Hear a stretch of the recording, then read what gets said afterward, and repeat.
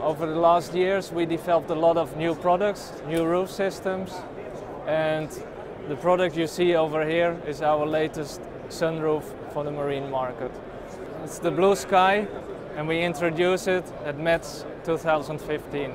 From a market target point of view it's new. We are focusing also on the smaller boats to have the opportunity to use a sunroof and also new from styling point of view. Meaning that we focused on the, the panel itself.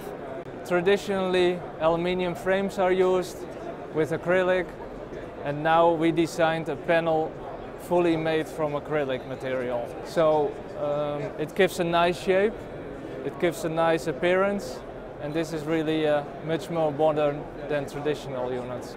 Furthermore, we developed a completely new mechanism, very thin, so it fits perfectly with the dimension of the roofs and of course also electrical operated and this I can demonstrate.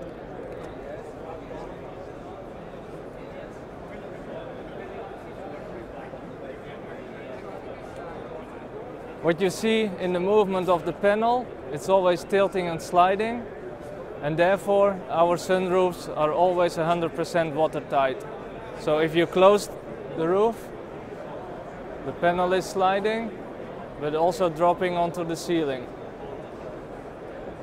So this is one of our unique features within all the marine roofs we have.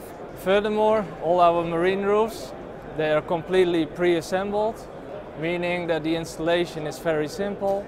You take the roof from the box and you install it like a traditional deck hatch. The inside of the roof, it's very clean. Uh, we designed it in such a way that it has a very small mechanism, so therefore a very large opening.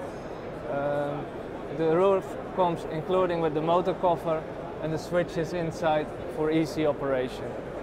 Also the installation is very simple, like a traditional deck hatch, but then only adding two wires to the battery. So even end users can use this product and install it themselves.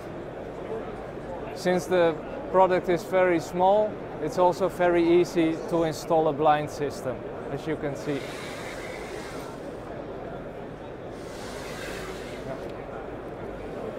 Another specific feature of this product, we mentioned already the design of the panel.